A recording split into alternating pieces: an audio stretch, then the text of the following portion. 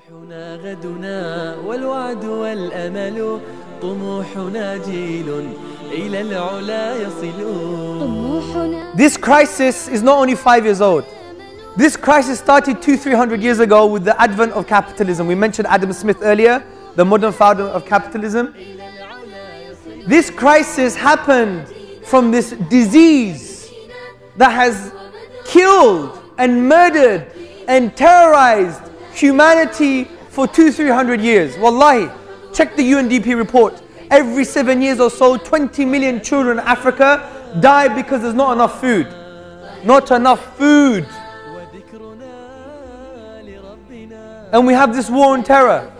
Don't get me wrong, we don't believe in terrorism, it is wrong. But we should have a war on capitalism, on its ideas, because it kills much more, many more people. Millions!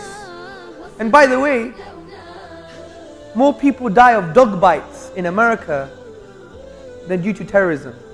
I don't see a war on canines, a war on dogs. Yeah? So we have a, we have a crisis. 20 million children every few years because of no food. 2 billion people living less than $2 a day. 1 billion people having no sanitation. Even in America, 50% of the people require funds from the government. 25% of people need food stamps or they live underneath the poverty ladder. I was in Chicago just a few months ago. And I was hearing a story about a child. She only goes to school because that's her only meal to eat. We were in Africa, in Burundi, the poorest country in Africa. Children had two meals. America has become like Africa because of its the systemic issues. Now we're not condemning America, we're not condemning human beings, we're condemning ideas here that facilitate this carnage, this destruction. Why is it that we have 60,000 deaths every day just because of bad water and no food?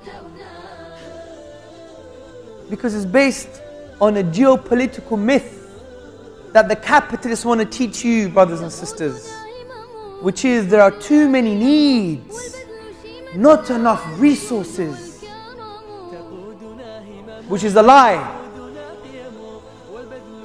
It is a lie. One, because the Prophet said in a hadith in Tirmidhi, he said, The son of Adam, all he needs is food, shelter, and clothing, defining our essential limited needs. And it creates an economic philosophy of distribution, not of competition, because there's so called too many needs and not enough resources.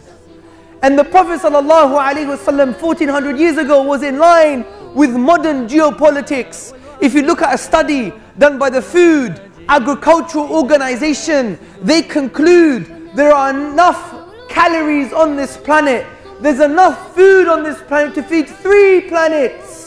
Not one, but three planets. Allah is Al-Razaq. He is the provider. This is why Ali radiallahu anhu said in a very wise statement, when you see a poor person, don't blame Allah. Allah gave us the resources. He's Al-Razaq. Blame the zalim. Blame the, uh, the oppressor who's created a system that doesn't distribute the wealth to this person. This is Islam. This is Islam that would change the world, especially by economy, to liberate human beings from the clutches of the, of, of the slavery of capitalism. والأمل طموحنا جيل إلى العلا يصل طموحنا غد